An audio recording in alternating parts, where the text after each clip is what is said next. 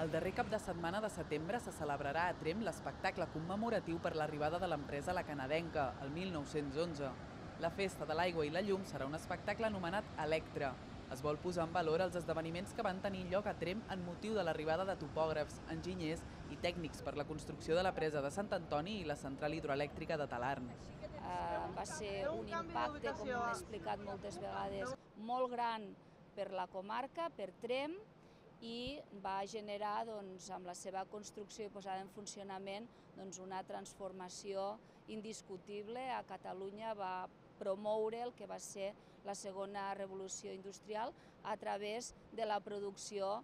i transport d'energia elèctrica que va fer competitiva la indústria catalana. El patrimoni hidroelèctric del Pallars és considerat una activitat econòmica transcendental tant per l'evolució econòmica i energètica com pel punt d'inflexió històric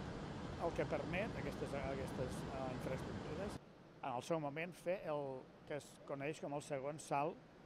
eh, industrial a la revolució industrial de Catalunya, perquè veníem d'una primera fase eh, amb què la matèria primera per la creació d'energia era el carbó, i aquí doncs, es fa un gran salt endavant amb una creació d'energia molt més neta, com la hidroelèctrica, ara en diríem renovable, una activitat que va deixar empremta en el paisatge geogràfic, topogràfic i també antropològic de la zona. En el període àlgid de les obres van arribar a venir al voltant de 4.000 treballadors. En aquell moment Trem tenia 2.500 habitants. Això va generar tensions, desconfiança i transformació social la situació de desconcert, de desconfiança, d'expectació sobre una, una gran obra que els hi explicaven i que no entenien, això de voler eh, posar, de, de voler domesticar el riu Noguera Pallaresa, un riu que tenia fama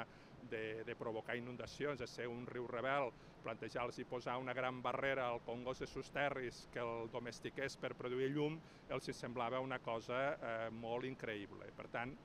les activitats giraran al voltant d'aquests primers mesos i del que va suposar aquesta primera arribada dels enginyers i dels treballadors de la canadenca. Hi haurà espectacles de carrer, monòlegs i activitats que permetran connectar amb la població amb aquest moment històric que van viure els nostres avantpassats en primera persona.